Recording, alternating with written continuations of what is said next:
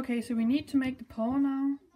Um, I know the the um neck. We haven't made the neck yet, but um, and also here, if you put this, you know, this piece and the ears on from the no, um, one, two, three, four, five, six, seven, eight, nine, ten, eleven. Eleventh from the snout, you know, uh, the eleventh. Um, not not the snout itself, but the green part from the eleventh, uh, from the start to here. Then it should look like this. You know, have um, this much, you know, left about this much. I kind of I messed up here, so it's one, you know, shorter here and not up here, but I stitched it wrong. So not, um, I didn't stitch the part wrong. I just stitched these, you know, the last two you've stitched together wrong. So yeah, but we'll make the neck after we have made the legs, I think. Um, but we need to make on these, so that means these, and then we also need to make these, and we need to make the claw on these. Um, so you should make this, but before you do that, um, it should, you should, um, for you should have six looms so that there should be plenty of space. So we make um, these first, so that is, um, let me see, so that is just, I'll just use this color, but it is, you know, the paw pad color. So that and that color and that color and that color should be the same. So how the way you make the paw pad color is you take two bands, I only have one here, but take two, like that, like that. Go here. Here. Here. Here. And it should all be two bands, I only use one. And then you should take a double band and go like this. Cap it off and loom it, okay? Um,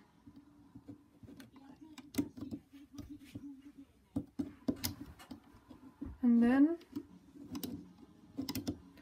um, you should make this. This is also two bands. So first you go down there, there, and then there, there, and then there, down there, there, and then cap it off, and then a double loop band here. I just used one. Um, so you loom that, and then the big paw pad.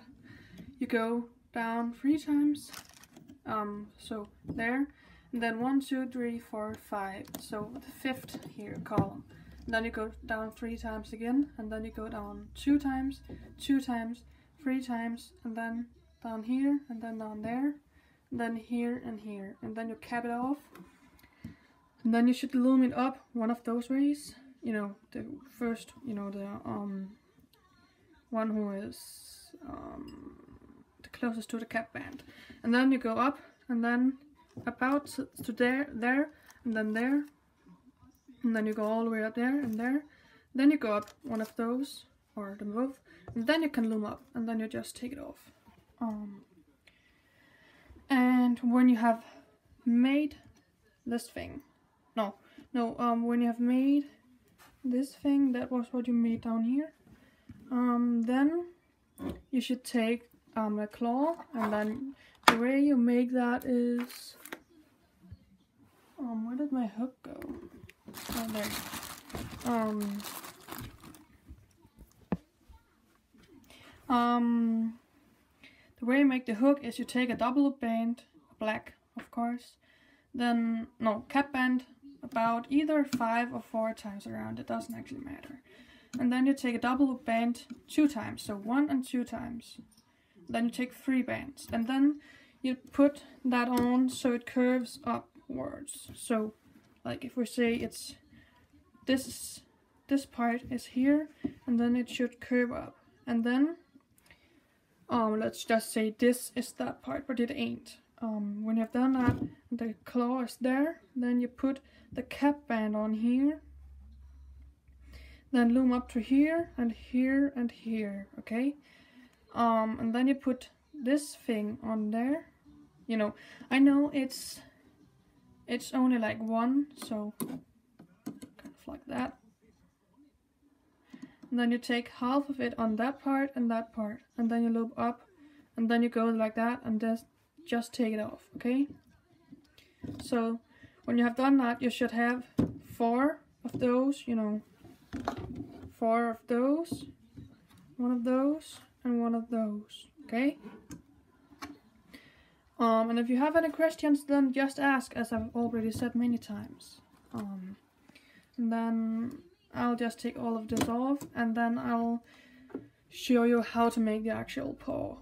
Um, and you know, um, of course, the one that I'm making now ain't going to be like messed up. Because if it is, then I'm just going to delete this video and then just go on. So yeah, let's um, I'll just put the bands on and then I'll show you how to do the rest.